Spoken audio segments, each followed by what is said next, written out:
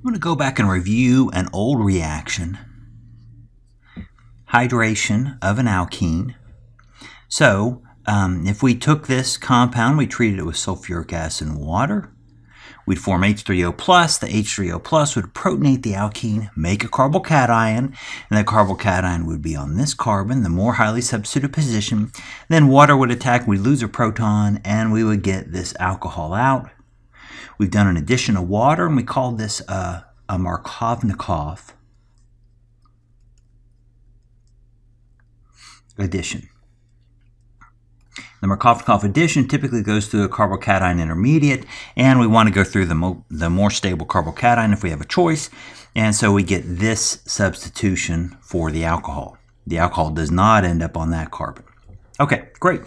So now let's look and see how this applies to alkynes, not alkenes. So I'm going to draw a generic alkyne, and we're going to subject it to nearly the same reaction conditions. We're going to treat it with water, we're going to treat it with sulfuric acid, and we're going to treat it with mercury sulfate and the mercury is in there, it's necessary. It turns out the alkyne doesn't react quite as readily as the alkene, and mercury helps that process. And what we get is actually very similar.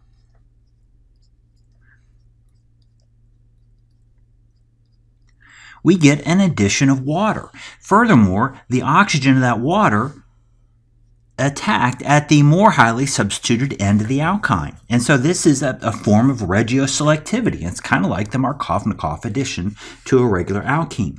Now, what's different is, is we're not done with this reaction yet. What we have formed is an enol tautomer. And enol tautomers are not the more sta most stable form that we can draw.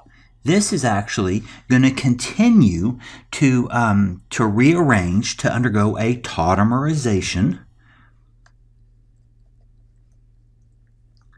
And this is going to tautomerize to the keto form. The keto tautomer. So, what have we done? Well, nothing's changes. Here, here we've added water.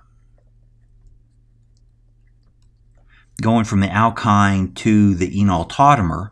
And as it turns out, we haven't changed anything about the keto tautomer. We still net added water. We added an oxygen and two hydrogens. So it's still an addition of water. It's just that we don't get an alcohol, we get a ketone.